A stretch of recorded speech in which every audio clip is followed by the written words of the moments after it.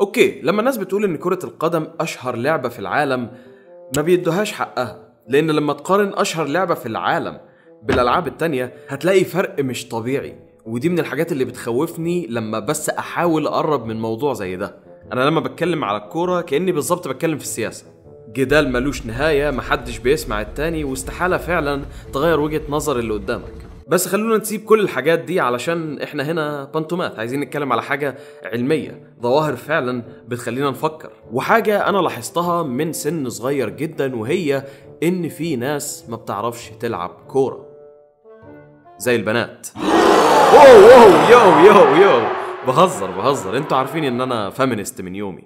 ولكن بجد كلنا قابلنا الشخص ده اللي بيمسك كورة وفعلا أنت بتخاف عليه لا يجرح نفسه. لسبب ما ما بيفهمش الكورة دي إزاي بتشتغل.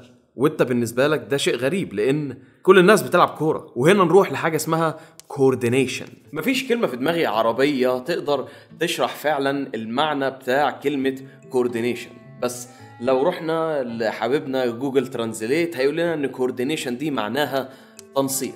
التنسيق ده القصد منه إن أنت تقدر تستخدم أجزاء مختلفة من جسمك بانتظام وبكل سلاسة. بس الحاجة اللي إحنا لازم ناخد بالنا منها وهي إن أنت لو عندك تنسيق حلو أو عندك coordination حلو أنت ما بتلاحظش. أنت لما بتكون ماشي في الشارع عادي جدا انت دلوقتي بتمشي بتنسيق. من غير تفكير انت بتمشي وكل حاجة بتشتغل مع بعض. بس في مهام تانية انت بتعملها بتبين قد إيه ال coordination عندك حلو ولا وحش. زي مثلا عزف الدرامز انت لازم يكون عندك coordination حلو جدا لأن انت فعليا بتفصل كل طرف من جسمك وبتخليه يشتغل لوحده وفي نفس الوقت بيتجمعوا مع بعض. نفس الحوار لما حد يرمي لك حاجة وانت مش واخد بالك. هل جسمك وهو على ال auto pilot هيقدر يمسك الحاجة دي ولا لا؟ لو هتمسكها بعدين تقوم موقعها أو مثلا ما تعرفش تمسكها خالص فال auto pilot بتاع جسمك مش شغال حلو قوي وبكده انت هتكون uncoordinated هل ده معناه علشان تلعب كورة لازم يكون جسمك في أعلى حالات التنسيق؟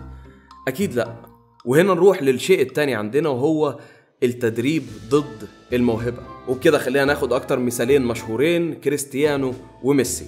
واضح جدا إن الاتنين دول ليهم طريقة مختلفة في اللعب والاتنين متميزين بطريقتهم الخاصة. كريستيانو شخص اتدرب لحد لما قدر يوصل للي هو فيه حاليا. ميسي هو كمان بيتدرب وبيشتغل على نفسه ولكن ميسي مولود بالموهبة. معلومة ممكن ناس كتير ما تكونش عارفاها وهي إن أنا لعبت كورة لمدة أربع سنين في نادي درجة تانية محدش يعرفه في مكان ما. ولكن عامة يعني في التدريب في حاجة كنت دايما بلاحظها. في التدريب كان الكابتن بيعلمنا حاجات كتير. من الحاجات دي مثلا كان يرفع لنا الكورة وإحنا نروح عشان نلعبها بدماغنا في الجول يعني. وكنا بنغلط وبنعيد مرة تانية وبنتعلم. بس دايما كان في الشخص ده اللي هو من أول مرة تلاقيه بيعرف يطير ويجيب الكرة مهما كانت هي فين ويقوم مدخلها في الجول. يعمل ده كله بسهولة مش طبيعية. مثلا تحط له الكرة بنتدرب يلا عشان نشوط ونلف الكرة في الجول ولا حاجة.